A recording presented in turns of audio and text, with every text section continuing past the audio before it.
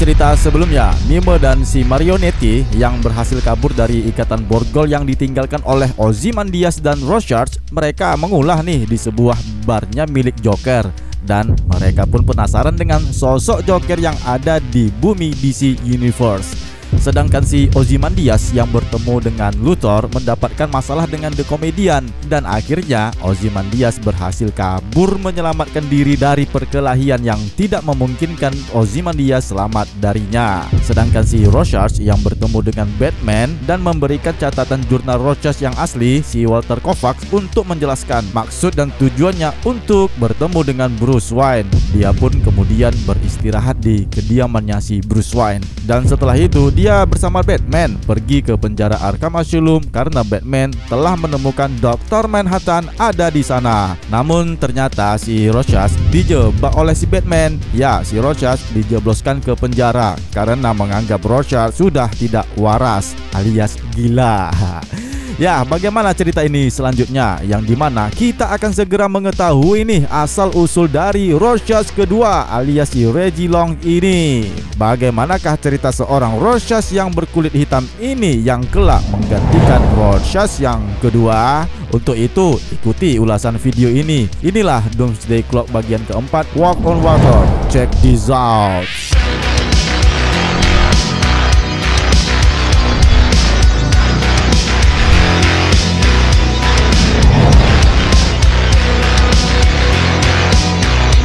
Hai semua, selamat pagi, siang, sore ataupun malam buat siapa saja yang melihat video ini. Ya, kita jumpa lagi nih dengan DC Indonesia. Bagi kawan-kawan yang baru melihat video ini dan belum sempat untuk menekan tombol subscribe, jadi kami sarankan nih untuk menekan tombol subscribe pada channel ini agar kami lebih bersemangat lagi untuk membuat video seperti ini. Dan terima kasih kami ucapkan bagi teman-teman yang sudah subscribe. Kalian luar biasa. Follow juga ya akun Instagram DC Indonesia @dc DCU Indo itu namanya. Oke, terima kasih. Di follow ya, jangan lupa.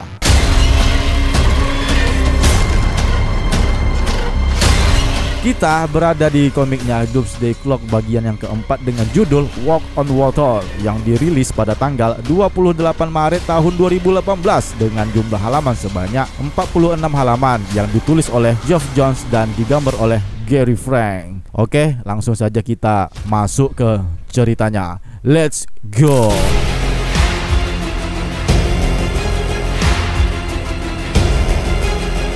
Seperti yang Mimin utarakan pada awal video, kita akan menceritakan sosok seorang Rorschach yang kedua, yaitu si Reggie Long. Bagaimanakah kisah seorang Reggie Long ini menjadi Rorschach yang kedua? Ya, saat ini kita berada di penjara Arkham Reggie Long alias Rorschach yang baru. Yang saat ini dia adalah seorang narapidana di Arkham Asylum. Karena setelah Batman mengkhianatinya dan menguncinya di dalam sebuah sel di sana Yang menurutnya bahwa Rorschach adalah orang gila Di sinilah hari pertama Rorschach yang berada di penjara tersebut dan melihat segala sesuatu dengan pikirannya yang mengembara. Ingatannya muncul ke permukaan dengan setiap detail yang dilihatnya. Suatu saat ketika waktu sarapan di penjara tersebut, dia melihat wajah seorang narapidana dan di saat itu dia teringat pertama kali dia melihat jamur. Kita beralih ke masa lalunya si Reggie Long. Di saat dia berusia lima tahun Sedang menonton televisi bersama kedua orang tuanya Ya, sebuah liputan peperangan Amerika dan Viet Cong Di dalam berita tersebut menyebutkan bahwa Presiden Nixon telah mengirim Dr. Manhattan Untuk ikut berperang dengan Viet Cong Dan dengan begitu peperangan Amerika Serikat dengan Viet Cong Akan terjadi dalam beberapa waktu dekat ini Si Reggie yang di saat itu bersama orang tuanya yang sedang menikmati tontonan berita tersebut, ibunya yang bernama Gloria Long ingin pindah dari New York, takut akan dampak yang akan terjadi dengan tempat tinggal mereka. Sementara ayahnya yang bernama Malcolm Long, yang dia adalah seorang psikiater terkenal, menerima permintaan dari istrinya agar pindah ke New York. Si Regi remaja adalah anak yang biasa-biasa saja, tidak ada masalah dengan nilai yang rata-rata dan tidak pernah berkelahi dan juga tidak pernah melawan orang-orang yang di lingkungannya. Dia anak yang baik, tidak pernah berdebat ataupun mengeluh, tapi dia tidak terlalu ramah atau baik nih dengan para wanita. Ya, dengan para wanita pun dia agak nggak akrab gitulah. Akhirnya mereka satu keluarga pun pindah ke New York dan dia hanya mengingatkan masa-masa remajanya di rumahnya dahulu. Kita kembali saat ini ke Arkham. Ciregi Long dipukuli oleh penjaga tepat di sel tahanan Mr. Freeze. Ciregi terus bertanya pada dirinya sendiri, mengapa dia ada di penjara ini. Kembali dia terbayang pada ingatan masa lalunya. Suatu saat ketika dia menjadi seorang mahasiswa di kamar kosnya bersama kedua temannya yang sedang pacaran, meminta mereka untuk mencari ruangan yang lain saja. Ya, di saat itu juga dia melihat sebuah berita di televisi. Ayahnya yang bernama Malcolm Long menjadi sorotan opini publik yang ditugaskan untuk mengevaluasi psikiatris Walter Kovac, yaitu si Rorschach yang asli. Kita kembali lagi ke masa sekarang di dalam penjara Arkham. Dia terdiam dan merenungi apa yang telah terjadi selama ini. Kita diperlihatkan satu halaman ini di mana dia melihat seorang petugas kebersihan cleaning service yang berada di luar pintu selnya dan masih memikirkan apa yang terjadi dengannya sehingga dia berada di penjara Arkham ini. Kembali lagi kita ke cerita Regilong di saat dia menelepon orang tuanya di mana di saat itu di universitasnya para mahasiswa sedang berdemonstrasi tentang anti bom nuklir. Di sinilah si Regi mendapatkan kabar melalui telepon yang dia hubungi bahwa kedua orang tuanya si Malcolm Long dan si Gloria Long sedang mengalami masalah. Ya, kedua orang tuanya sedang dalam keadaan yang tidak baik atas keributan yang terjadi kepada orang tuanya itu. Dia menjadi trauma dan pergi dengan membawa kendaraannya di mana pada saat itu bertepatan di mana ada ledakan bom yang terjadi di New York City yang menyebabkan banyaknya kematian penduduk New York termasuk orang tuanya si Regi. Sedangkan si Regi yang berada di jalan raya lolos dari jangkauan ledakan dan hanya mengakibatkan luka-luka kecelakaan ringan kita kembali lagi ke masa sekarang di penjara Arkham Asylum. Si Regi yang teringat akan peristiwa pembantaian di New York itu, sekarang dia didatangi oleh seorang psikiater yang bernama Dr. Matthew Mason. Ketika dokter mengajukan pertanyaan tentang dia dan mengapa Batman membawanya ke penjara Arkham, si Regi kembali mengalami penglihatan masa lalunya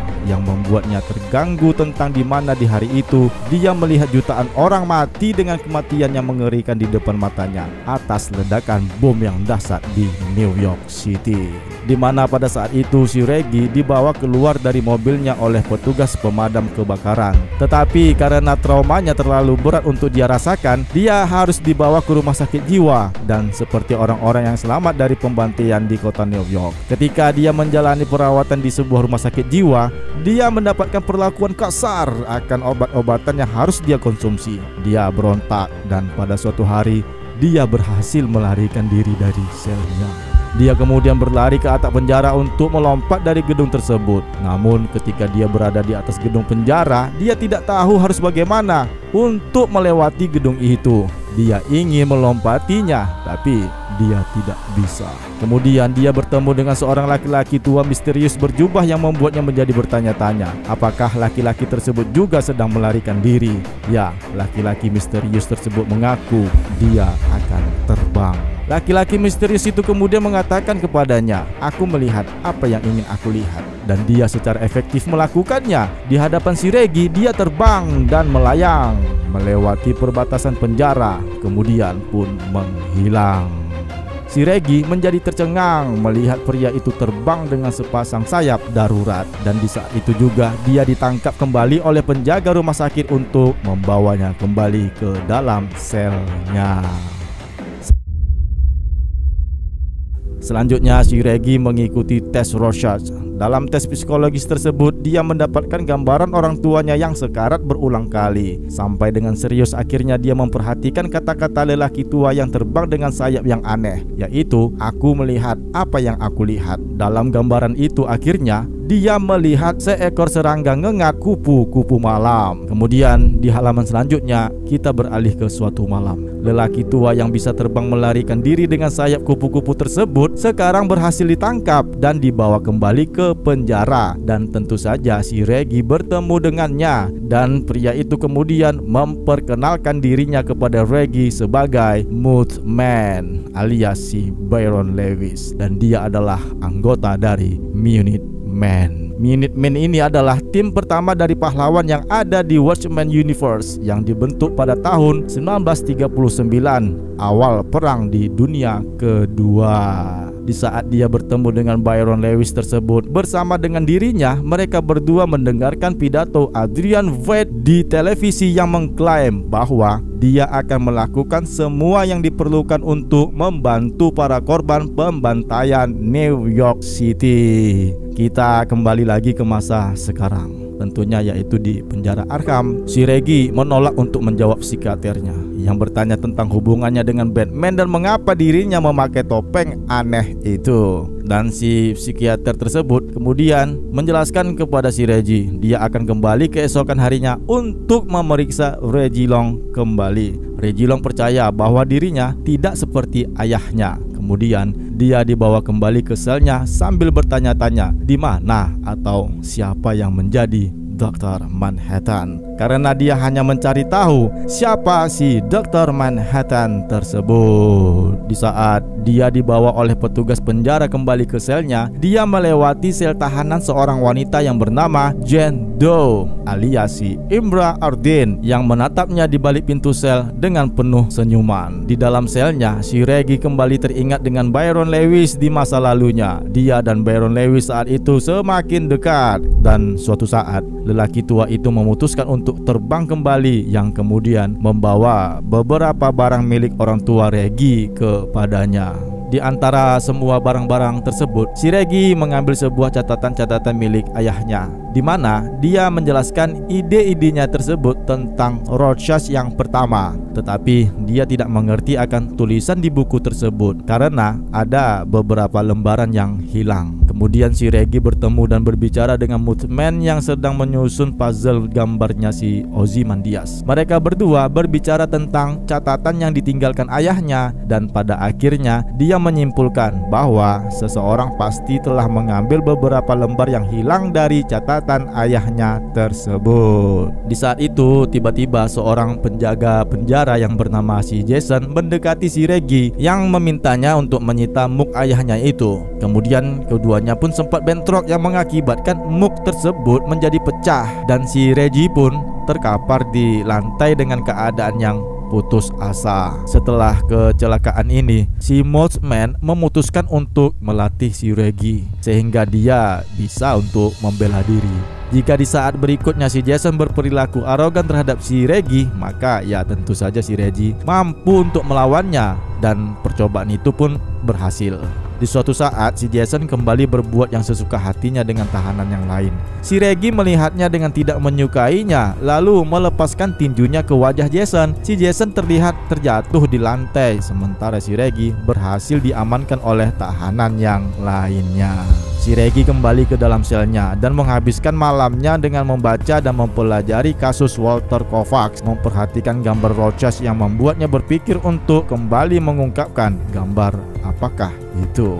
Dia bersama Byron Lewis kembali membahas mengenai catatan ayahnya yang mengenai investigasi Walter Kovacs. Di saat itu, di saat mereka berbicara berdua itu, ada sebuah berita harian koran yang mengungkapkan bahwa Adrian Veidt alias si Ozymandias terbukti dituduh sebagai orang di balik pembantaian New York City. Oleh karena semua yang selamat dalam peristiwa tersebut, termasuk si Regi, dia akan dipindahkan ke fasilitas yang lain, yang di mana mereka akan ditanyai pertanyaan mengenai tentang Adrian Void. Kemudian tiba-tiba si Jason menghampirinya dan mengejek si Regi untuk yang terakhir kalinya. Ya, di saat itu juga si Regi menancapkan pisau di tangannya. Selanjutnya si Regi kembali dalam tes psikologi si Rorschach. Di saat dia ditanya kembali oleh tim psikiater, dia pun menjawab bahwa yang dilihatnya adalah Rorschach. Suatu saat pada tanggal 11 Oktober tahun 1992, sebuah berita melaporkan bahwa teori tentang Adrian Veidt mendapatkan daya tarik yang membuat si Regi menjadi sangat yakin bahwa Adrian Veidt harus bertanggung jawab atas pembantaian umat manusia di kota New York beberapa saat yang lalu. Si Byron Lewis mencoba meyakinkannya bahwa semua itu tidak membenarkan dengan bukti yang banyak, tetapi pemuda itu yakin akan hal itu dan selanjutnya dia akan membalaskan dendamnya kepada Adrian Vett. Oleh karena ulahnya tersebutlah kedua orang tuanya tewas dalam pembantaian tersebut. Atas dasar itulah dia kemudian membakar rumah sakit jiwa sehingga dia dan narapidana yang lainnya bisa melarikan diri dengan tujuannya untuk membalaskan dendamnya kepada Adrian Wade. Selama pelarian, Byron Lewis alias Man melihat kembali ke rumah sakit yang terbakar. Dia masuk ke dalam kobaran api tersebut dan berkata, "Ini memanggilku, aku melihatnya." Dan dia berjalan masuk ke dalam kobaran api yang membara. Hingga suatu saat setelah berhasil melarikan diri dari penjara yang dia bakar tersebut Di saat sendirian, dia membuka tasnya kembali untuk menemukan surat penjelasan dari Byron Sebuah peta ke tempat persembunyian Adrian Wade di Karnak dan sebuah tiket ke Arctic untuk sampai ke sana. Dia juga menemukan topeng Rorschach dan di saat itulah dia menyentuhnya untuk pertama kalinya.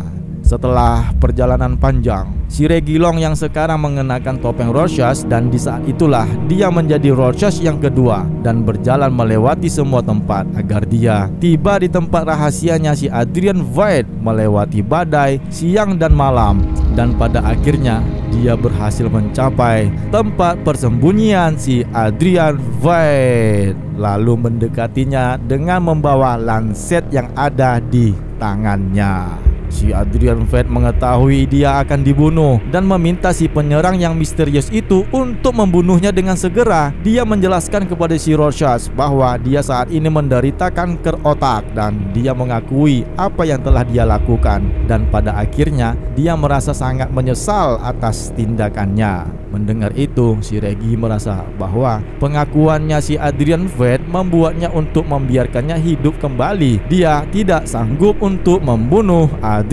V. Kita kembali ke Arkham di saat sekarang ini. Di saat di dalam kesendiriannya di dalam sel, si Regi tiba-tiba mendengar suara di dalam selnya yang memanggilnya dan dia menganggapnya sebagai tipuan pikirannya sendiri. Ternyata yang memanggilnya itu adalah Jen Doe yang muncul di luar selnya yang menjadi sumber suara yang dia dengar. Sebenarnya Jen Doe adalah Saturn Girl yang tergeser oleh aliran waktu. Dia mengklaim dia telah berada di dalam pikirannya si Roses ini beberapa hari yang lalu dan menjelaskan bahwa mereka berdua harus pergi dari penjara ini dan dia membuka pintu selnya si Rochas. Kita kembali lagi dalam masa lalu si Regilong yang menjadi Rochas. Dia bersama si Adrian Wade menjadi akrab. Terlihat mereka berdua sedang meninggalkan tempat persembunyian Adrian Wade dengan tujuan untuk menemukan Dr. Manhattan agar dapat memulihkan dunia seperti di saat sebelum pembantaian di New York City. Kita kembali lagi ke masa sekarang ini. Saat Reggie dan Jen Doi melarikan diri dari penjara Arkham Kita dialihkan ke Batcave. Dan ternyata Bruce Wayne memberitahu Alfred bahwa dia menganggap Reggie Long tidak bisa diremehkan. Dan terungkap ternyata yang menjadi Dr. Matthew Mason Di saat dia bertanya tentang psikologis Reggie Long Adalah Bruce Wayne yang menyamar selama ini Sementara itu, ada nih seekor lalat diperlihatkan terbang menuju cahaya di Arkham Asylum dan saat terbang keluar dari pintu sel, ada asap yang membentuk seperti atom hidrogen dan sebuah foto yang melayang perlahan di sel Arkham si Reggie yang sekarang sudah kosong. Itu memperlihatkan ada dua individu yang tertentu akan terungkapkan dan cerita pun bersambung. Sebuah tulisan berada di akhir halaman ini yang menyatakan keajaiban bukanlah berjalan di atas air, keajaiban adalah berjalan di atas bumi. Linji Yisuen. Dan kemudian nih ada dua halaman tambahan mengenai informasi serangkaian surat dari Byron Lewis kepada saudara perempuannya yang bernama Betty yang dikirim dari Fitzgerald Mental Health Home dia menyebutkan di dalam tulisan itu bahwasanya dia merasa bahagia untuk tinggal di sana selama ini. Dan untuk selanjutnya, kita akan memasuki cerita Doomsday Clock yang kelima di mana nanti akan terungkapkan bahwasanya binatang kesayangannya si Ozymandias adalah yang bernama Bubastis.